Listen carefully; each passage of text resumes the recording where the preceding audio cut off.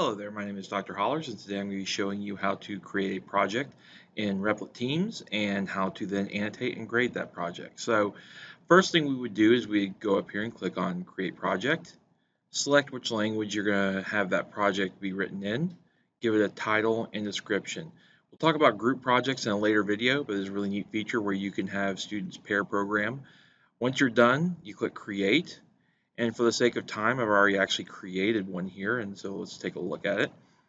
Um, by clicking on that, it's going to take you to the IDE. And you'll notice I have a few files here. I have a index.html, it's just got some basic HTML, and the students are filling in the style sheet here. Uh, one of the things I like to do is include a readme.txt file. Um, this gives them the steps that they're supposed to do in order to complete the actual activity. Um, it's a good practice just for them to get in the habit of reading the README um, especially if they're doing things like version control with GitHub. So um, that's all there for them to complete. If we want to see what it looks like from a student perspective, we first need to publish it. So you'll notice it's not published here. I can actually publish it from up here in the top right hand corner when I'm in the project, or I can click that toggle that you saw. So I'm going to click on published, save, and then I can go back and now it's published and you'll see that toggle there shows that. So let's look at it from the student view. We go to the student view, you'll see that there's nothing there. If I refresh, now that's published. Here's their project. And so this student actually started working on the assignment and submitted it. So let's go back and look at how to grade it.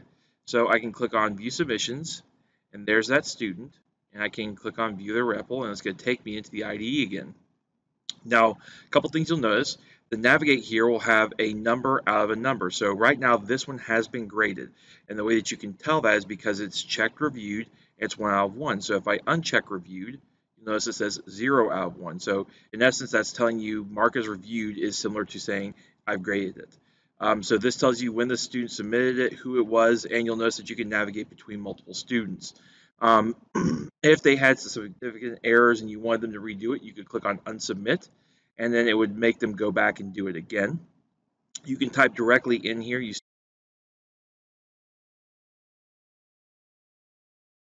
still have your file manager with all the information. So here's their CSS styling that they did. And one of the neater features about grading is you can actually do what are called annotations. So you'll see here that I gave them some annotations saying, you, know, you did a great job of grouping um, in this particular um, selector activity. So I can go in and add an annotation simply by selecting what I want to annotate, clicking annotate, and then I can type in something like this is correct. I can click on the blue arrow or hit enter, and there it is. The neat thing about this too is that students can uh, look at that feedback and see exactly what it's related to. So I'm not having to modify their code, but I'm allowing them to see that that's something that they can actually go back and change or modify if they need to.